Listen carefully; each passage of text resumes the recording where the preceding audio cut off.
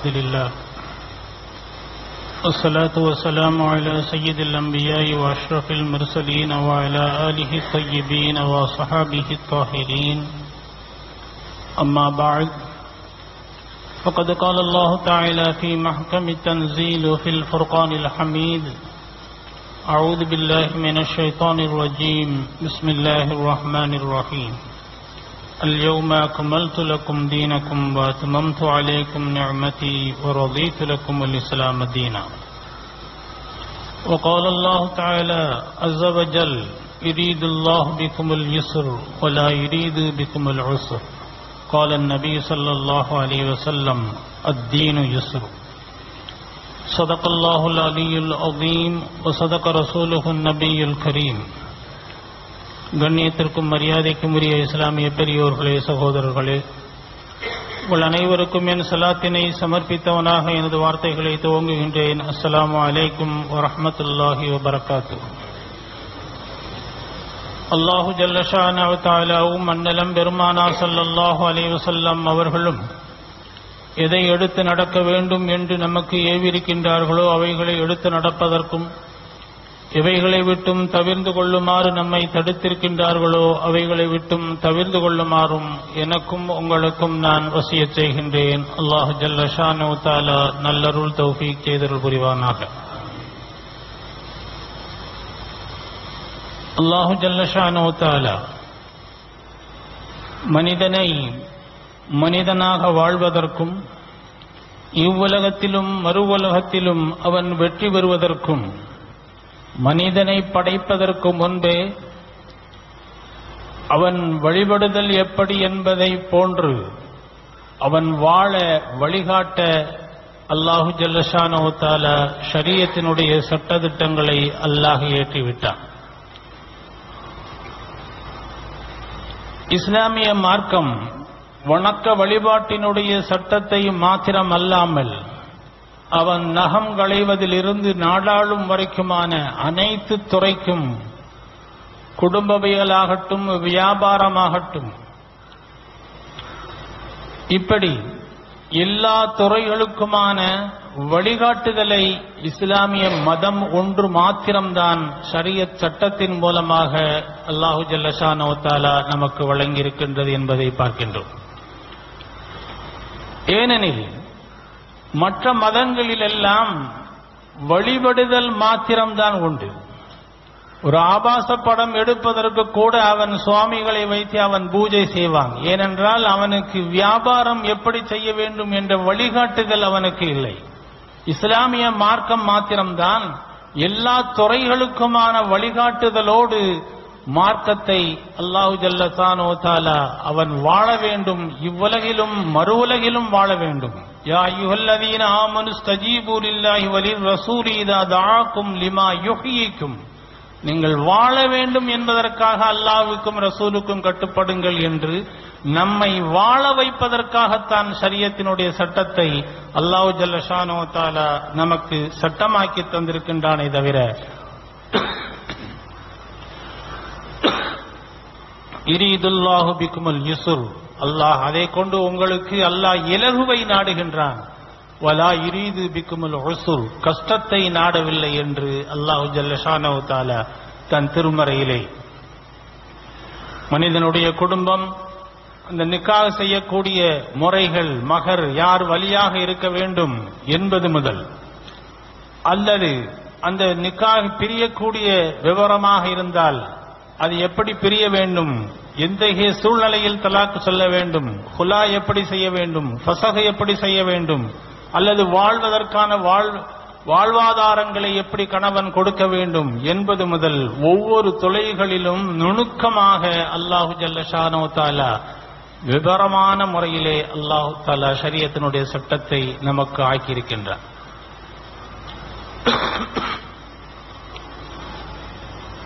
இது மனிதனால் ஏற்படுத்தப்பட்ட சரியத்தினுடைய சட்டம் அல்ல. மாணவி சல்லா அலைஹி செல்லம் அவர்களே நினைத்தாலும் கூட சட்டத்தை மாற்ற முடியாது. குறைசி காஃபிர்கள் சில ஆயத்துக்களை மாற்றினால் நாங்கள் இஸ்லாத்திற்கு வருவோம் என்று சொன்ன பொழுது நபி பதில் சொல்வதற்கு முன் அல்லாஹ் பதில் சொன்னான். குல்மாய கூனூலி அனுபத்திலகு அதை மாற்றுவதற்கான அதிகாரம் எனக்கில்லை என்று நபியை நீங்கள் கூறுவீராக. அல்லாஹ் எனக்கு எதை வகையாக அறிவித்தானோ அதைத்தான் நான் சொல்கின்றேன் என்று நபிக்கு அல்லாஹு தாலா பிரகடனம் செய்தான் என்றால் இந்த உலகத்தில் அல்லாஹுவால் ஏற்படுத்தப்பட்ட மார்க்கத்திற்கு அல்லாஹுவே மனிதனுக்கு எது எது தேவை எப்படி தேவை எந்த அளவிற்கு தேவை எந்த ஆழத்திற்கு தேவை என்று மனிதனை படைத்த ரப்புவுக்கு மனிதனுடைய தேவையை அறிந்து அவனே அவன் சட்டத்தை அவன் மனிதனுக்கு தந்திருக்கின்றான் என்றால் குர்ஆன் உள்ளிருந்தும் எதுவும் வெளியேற முடியாது. காலத்திற்கேற்ப காலம் உள்ளளவும் அதனுடைய கருத்துக்கள் விரிவடைந்து கொண்டு அப்டேட் ஆகிக்கொண்டே இருக்கும். வெளியிலிருந்தும் உள்ளே வராது. அண்ணலும் பெருமானா ஸல்லல்லாஹு அலைஹி வஸல்லம் அவருடைய சொல் வாக்கியங்களும் அப்படித்தான். மாணவி ஸல்லல்லாஹு அலைஹி அவர்கள் இரவில் தூங்கச் செல்லும் முன் சில கைமாக்களை கற்றுக் கொடுத்தார்கள். சஹாபிகளுக்கு உங்களுக்கு தெரிந்ததுதான். அல்லாஹும் அசலம் நப்சி இலேக்க என்று தொடங்கக்கூடிய அந்த துவாவிலே ஆமன்து பி கிதாபி கல்லதி அன்சல்த ஒபி நபி கல்லதி அர்சல்த என்று முடியும். நீ அருளிய கிதாபை கொண்டு நான் ஈமான் கொண்டேன். நீ அனுப்பிய நபியை கொண்டு நான் ஈமான் கொண்டேன் என்ற சொற்றொடரை சொன்னவன் ஒரு சஹாபி அதை மனப்பாடமாக திருப்பி நபியிடம் சொல்கின்றார்கள். அப்படி சொல்லும் பொழுது ஆமந்து பி கிதாபி கல்லதி அன்சல்த ஒபி ரசூலி கல்லதி அரசல்த ஒபி நபி கல்லதி அரசல்த என்பதற்கு பதிலாக நபி என்ற வார்த்தைக்கு பதிலாக ரசூல் என்ற வார்த்தையை அந்த சஹாபி ஒப்பிக்கின்றார். நபி என்றாலும் ரசூல் என்றாலும் ஒரு கருத்துத்தான். ரசூல் என்றால் வேதம் சொகுப்புகள் கொடுக்கப்பட்டவர்கள் அல்லாஹ்வின் தூதர். நபி என்றால் அல்லாஹ்வின் தூதர் அதற்கு முன்னால் கொடுக்கப்பட்ட வேதத்தையே அவர்கள் பின்தொடருவார்கள் என்று பொருள். ஆக பெருமானார் சல்லல்லா அலே வஸல்லம் அவர்கள் ரசூல் தான். ஆனாலும் அவர்கள் கற்றுக் கொடுத்தது ஒபி நபியி கல்லதி அரசல் என்று தான் கற்றுக் கொடுத்தார்கள். சஹாபி திருப்பிச் சொல்லும் பொழுது ஒபி ரசூலி கல்லதி அரசல்த என்று சொன்னவுடன் அதை தடுத்து நிறுத்தி ஒபி நபியி கல்லதி அரசல்த என்று சொல்லுங்கள் என்று சொன்னார்கள் என்றால் ஒரு வார்த்தையை நபி மொழிந்த ஒரு வார்த்தையை கூட ஒரே அர்த்தமாக இருந்தாலும் கூட நாம் அதை மாற்றிச் சொல்வதற்கு நமது மார்க்கம் அனுமதிக்கவில்லை என்பதைத்தான் இந்த சிறு விஷயம் நமக்கு காட்டுகின்றது.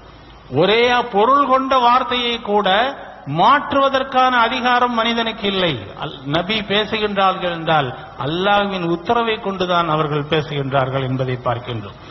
இப்படி மாநபி சல்லாஹு அலைஹி வஸல்லம் அவர்கள் ஷரியத்தினுடைய சட்டத்திட்டங்களை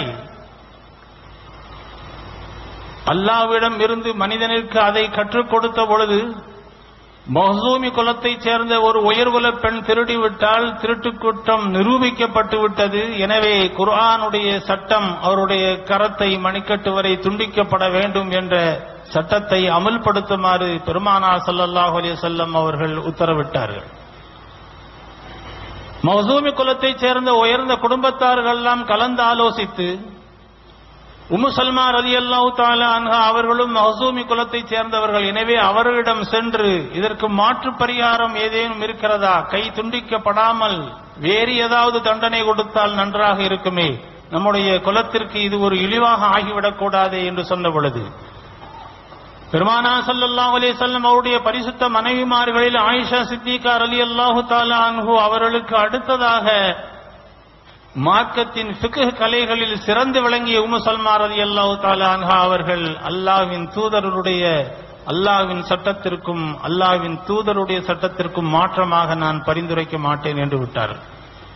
எனவே பெருமானாரின் செல்ல பிள்ளையாக விளங்கிய உசாமா பின் ஜெயித் ரலியல்லாஹு தாலா அன்ஹு அவர்களிடம் சென்று இதே கருத்தை அவர்கள் சொன்னவுடன் வாலிப வயதில் இருந்த உசாமா ரதி அல்லாஹு அன்ஹு அவர்கள் அதனுடைய ஆழத்தையும் விபரீதத்தையும் புரியாமல் பெருமானா சல்லல்லா அலி செல்லும் அவரிடம் சென்று அந்த மகசூமி குலத்தைச் சேர்ந்த ஃபாத்திமா என்ற பெண் திருடிவிட்டால் கையை துண்டிப்பதற்கு பதிலாக வேறு ஏதாவது என்று சொன்னதுதான் தாமதம். பெருமானா சல்லல்லாஹு அலி செல்லம் அவருடைய முகம் சிவந்து விட்டது.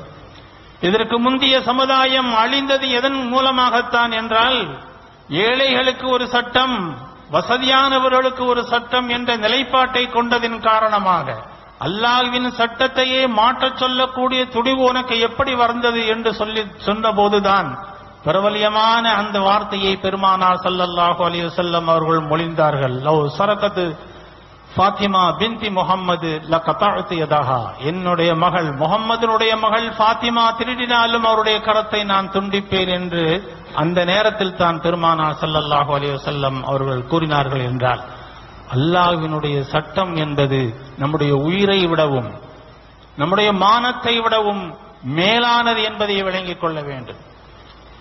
எத்தனையோ சஹாபிகள் தன்னுடைய உயிரை கொடுத்தது எதற்காக? இந்த தீனின் சத்தியத்தை நிலைநாட்டுவதற்காகத்தான் சரியத்தை நிலைநாட்டுவதற்காகத்தான் தன்னுடைய உயிரை இழந்தார்கள் மார்க்கத்தை நிலைநாட்டுவதற்காக.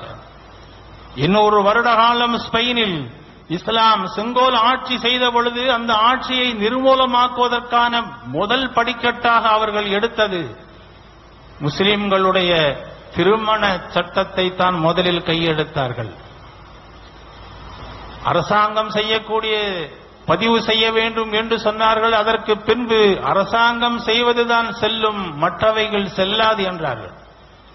இப்படி குரானுக்கும் குரானுக்கும் ஹதீஸுக்கும் மாற்றமாக மனிதனை வாழ வைத்து ஹலால் ஹராமில் பேணிக்கை இல்லாமல் அவனை இஸ்லாத்திற்கும் அவனுக்குமான தூரத்தை அதிகப்படுத்தி இஸ்லாமிய அடையாளங்கள் இல்லாமல் இன்று ஸ்பெயின் திகழ்கின்றது என்றால் ஒரு முஸ்லிம் முஸ்லிமாக வாழ்வதற்கு அவனுடைய இபாதத்தை விடவும் அவன் அமல்படுத்தக்கூடிய அடையாளங்கள் எல்லா விஷயங்களிலும் நிலைப்பாட்டாக இருக்க வேண்டும்.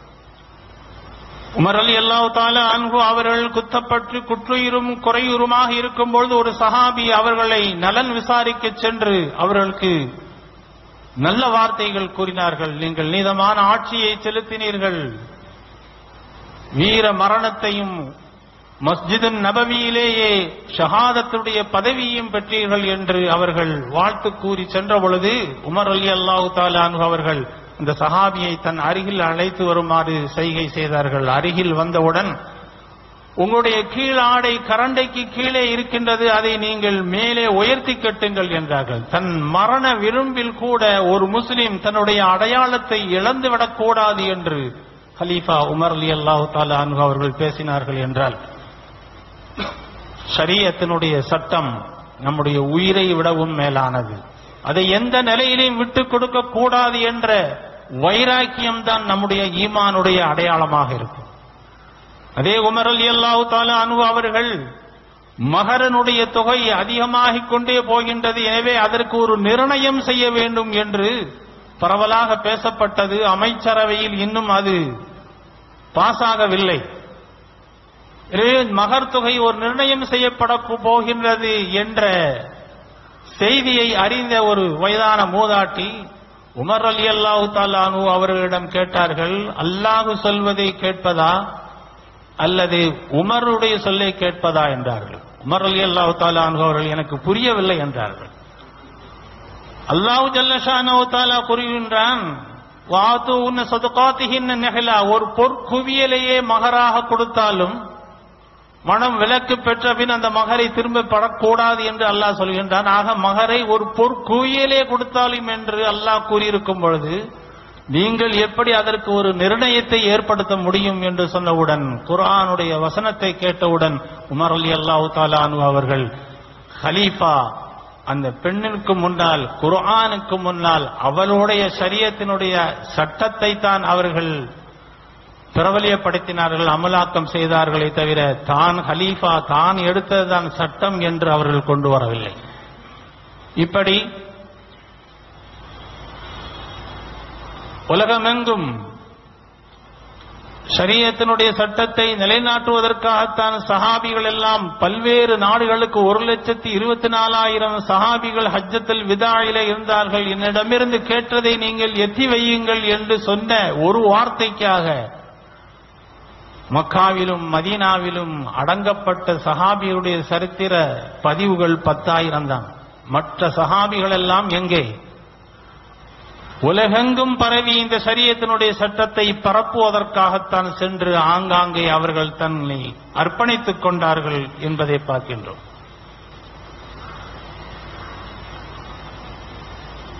இவை இந்திய அரசியல் பன்முகம் தன்மை கொண்டது. இந்திய அரசியல் சட்டம் இருபத்தி ஐந்தாவது பிரிவு கூறுகின்றது. இந்த நாட்டில் வாழக்கூடிய மக்கள் அவரவர்கள். வாழக்கூடிய மதத்தை பின்பற்றுவதற்கும் அந்த மதத்தினுடைய அனுஷ்டானங்களை அனுஷ்டிப்பதற்கும் அதை பிரச்சாரம் செய்வதற்கும் அவர்களுக்கு முழு உரிமை ஒன்று என்ற அரசியல் சாசனத்திற்கு எதிராக பாசிச சித்தாந்தம் கொண்ட அரசு அனைவருக்கும் ஒரே சிவில் சட்டம் கொண்டு வர வேண்டும் என்ற முனைப்பை காட்டுகின்றது என்றால் நம்மை நம்முடைய பாரம்பரிய அல்லாஹ் தந்த அந்த மார்க்கத்தை விட்டு நம்மை தூரமாக்குவதற்கு. அவருடைய தலைவரே ஆயிரத்தி தொள்ளாயிரத்தி எழுபத்தி ரெண்டில் பேசியிருக்கின்றார் இந்த ஒரே சட்டம் என்பது இந்திய நாட்டிற்கு ச- ஒத்து வராது. அப்படி செய்தால் அது விபரீதமாகும் என்று எச்சரித்தும் கூட அவர்கள் இதற்கு முனைப்பு காட்டுகின்றார்கள் என்றால் எல்லா வகையிலும் தோல்வி அடைந்த அவர்கள் மக்களினுடைய கவனத்தை சிதைப்பதற்காகவும் திசை திருப்புவதற்காகவுமான ஒரு நடவடிக்கை என்றாலும் அவர்கள் திட்டமிட்டுக் கொண்டு அவர்கள் எதையெல்லாம் அஜெண்டாவாக வைத்திருக்கின்றார்களோ அதையெல்லாம் நிறைவேற்றிக் கொண்டே இருக்கின்றார்கள். நாம் அனைவரும் நம்முடைய கருத்தை கேட்டிருக்கின்றார்கள். இணையதளத்தில் சென்று அதற்கான மறுப்பை நாம் செய்வது நமக்கு எப்படி நாம் மானத்தை மறைக்கக்கூடிய கடமை எப்படியோ அதுபோன்று நம்முடைய சரியத்தினுடைய சட்டத்தை நிலைநடத்து நிலைநாட்டுவதற்கும் இந்திய நாட்டில் அதை செயல்படுத்துவதற்கும் நாம் அந்த ஓட்டை நாம் பதிவு செய்வது கடமை. தெரிந்தவர்கள் தெரியாதவர்கள் தெரிந்தவர்களிடம் கேட்டாவது அதை செய்ய வேண்டும் என்பதை இந்த ஜும்மாவின் வாயிலாக நான் உங்களிடம் முன்வைக்கின்றேன். ஏனென்றால் இந்தியா பன்முகத்தன்மை. ராணுவத்தில் சேர வேண்டும் என்றால் ராணுவத்தினுடைய தலைக்கவசம் அணிய வேண்டும் தாடி வைத்திருக்க கூடாது. ஆனால் சீக்கியர்களுக்கு அவருடைய மதத்தினுடைய அடிப்படையில் அவர்களுக்கு அனுமதி வழங்கப்படுகின்றது. இதை சரி செய்ய முடியுமா? அப்போ இஸ்லாமியர்கள் மாத்திரம்தான் குறிக்கோளா? அதே மாதிரி மலைவாழ் மக்களுக்கு நானூறுக்கும் மேற்பட்ட சலுகைகள் இருக்கின்றன. அதைகளையெல்லாம் ரத்து செய்ய முடியுமா? ஒரு இந்திய ஜனாதிபதி ஒரு கோயிலினுடைய கர்ப்ப கோலழைக்குள் செல்ல முடியுமா? அதை சரி செய்ய முடியுமா? உங்களுடைய இந்த சிவில் ஆணை எல்லாவற்றுக்கும் ஒரே சட்டம் என்று. ஆக நம்மை பார்த்து அவர்கள் குறிவைக்கின்றார்கள் நம்மை நம்முடைய இஸ்லாத்தில் இருந்து தூரமாக்க வேண்டும் என்பதுதான். நம்முடைய உணவு ஹலாலாக இருக்கக்கூடாது. நம்முடைய பிரார்த்தனைகள் ஏற்றுக்கொள்ளப்படக்கூடாது. நம்முடைய சந்ததிகள் சாலிகானவர்களாக ஆகக்கூடாது என்பதற்கான ஒரு காய் நகர்த்துதலை தான் அவர்கள் திட்டமிட்டு செய்கின்றார்கள். எனவே நாம் இதில் சரியான முறையில் செயல்பட்டு அதை நிலைநாட்டுவதற்கும் செயல்படுத்துவதற்குமான முனைப்போடு களத்தில் நாம் இறங்க வேண்டும். நம்முடைய எதர அகீதா கொள்கைகளில் நாம் பிரிவாக இருந்தாலும் இந்த சரியத்தினுடைய கொள்கைகளுக்காக நாம் அனைவரும் ஒன்றுபட்டு வாக்களிக்க வேண்டும் என்பதை உங்களுக்கு நான் இந்த ஜும்மாவின் வாயிலாக கேட்டுக்கொள்கின்றேன். உருவத்திபின் பிரம்ம அலி அல்லாஹ் தாலா அவர்களுக்கு காலை எடுக்க வேண்டும் என்று மருத்துவர்கள் கூறிவிட்ட பின்பு காலை எடுப்பதற்காக மரப்பூசி கிடையாது. எனவே போதை அருந்த வேண்டும் என்று சொன்ன பொழுது உருவத்திபின் மசூத் அலி அல்லாஹ் அவர்கள் இக்கட்டான சூழ்நிலையில் அனுமதி இருந்தும் கூட ஹலால் இல்லாத ஒன்றை நான் உண்ண மாட்டேன் என்னுடைய உயிர் போனாலும் நீங்கள் காலை எடுங்கள் என்றார்கள். ரம்பத்தால் அறுக்கப்பட்டது கால் எடுக்கப்பட்டது. அல்லாஹ்வின் திக்கிரிலே அவர்கள் நிலைத்திருந்தார்கள்.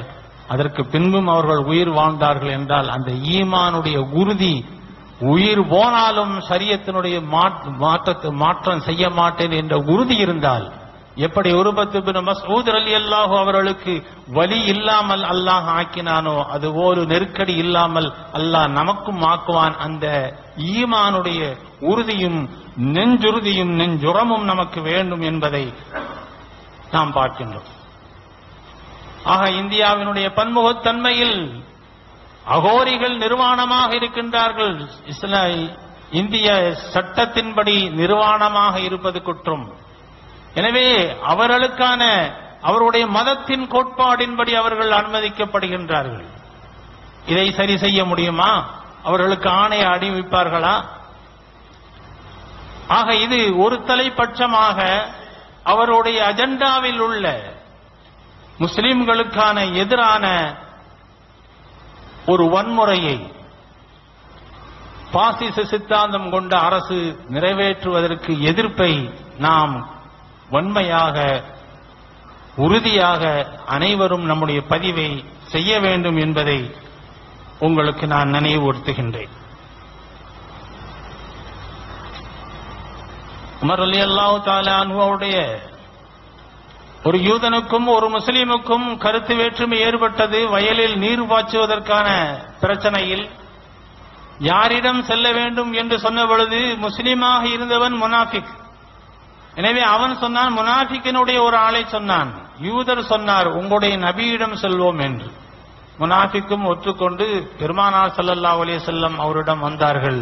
பெருமானார் விஷயத்தை புரிந்து கொண்டு யாரிடம் நியாயம் இருக்கின்றது என்று பார்த்தால் யூதனிடம் நியாயம் இருந்தது. யூதனுக்கு சாதகமாக தீர்ப்பை கொள்ளினார்கள். அந்த தீர்ப்பை ஏற்றுக்கொள்ளாத முனாஃபிக் அபூபக்கரிடம் செல்வோம் என்றான். யூதனும் அதற்கும் சரி என்று அபூபக்கர் சித்திக் அலி அல்லாஹு அவரிடம் சென்ற பொழுது அபுபக்கர் சித்திக் அலி அல்லாஹு தாலான் அவர்கள் கூறினார்கள் பெருமானார் செல்லல்லா அலைஹி செல்லம் அவர்கள் ஒரு தீர்ப்பை வழங்கிய பின்பு அதற்கு மேலாக நான் ஒரு தீர்ப்பை வழங்குவதற்கு எனக்கு எந்த அதிகாரமும் இல்லை. என்று சொல்லிவிட்டார்கள். எனவே மீண்டும் முனாஃபிக் தனக்கு சாதகமாக தீர்ப்பை பெற வேண்டும் என்பதற்காக உமர் அலி அல்லாஹு தாலாவிடம் செல்வோம் என்றான். யூதனும் அதற்கு சரி என்றான். உமர் அலி அல்லாஹு தாலானு அவர்கள் எல்லா விஷயத்தையும் விவரமாக கேட்டுவிட்டு இதோ நான் தீர்ப்பு சொல்கின்றேன் என்று வீட்டிற்குள் சென்று வாளை எடுத்து முனாஃபிக்கை தலையை சீவினார்கள். பெருமானாரின் காலத்திலேயே நடந்த விஷயம். அல்லாஹ்வின் ரசூலின் தீர்ப்புக்கு மேலாக ஒரு தீர்ப்பை நீங்கள் எதிர்பார்த்தால் அதற்கு மரண தண்டனை தான் என்று. அதிலிருந்துதான் அவர்களுக்கு ஹக்கையும் பாத்திலையும் பிரித்து அறிவிக்கக்கூடிய ஃபாரூக் என்ற சிறப்பு பட்டம் உமர் அலி அல்லாஹு தாலானு அவர்களுக்கு பெருமானா சல்லாஹ் அலி வஸல்லம் அவர்கள் வழங்கினார்கள் என்பதை சரித்திரம் நமக்கு காட்டுகின்றது. அதையும் அல்லாஹ் தாலா தன் திருமறையிலே கூறுகின்றான் உமா கானலி முஃமினின் வலா முஃமினத்தின் இதா கதல்லாஹு ரசூலுஹு அம்ரன் ஐய யகூன லஹுமுல் மின் அம்ரிஹிம். அல்லாஹும் ரசூலும் ஒரு தீர்ப்பை ஏற்படுத்திய பின்பு ஒரு மோமினான ஆணுக்கும் ஒரு மோமினான பெண்ணுக்கும் தன்னுடைய இஷ்டப்படி அதை மாற்றுவதற்கு எந்த விதமான அதிகாரமும் இல்லை என்று அல்லாஹின் அருள்மறை இறங்கியதற்கு பின்னாலேயும் ஒரு சரித்திரம் உண்டு. அதை சொன்னால் நேரம் நீண்டுவிடும்.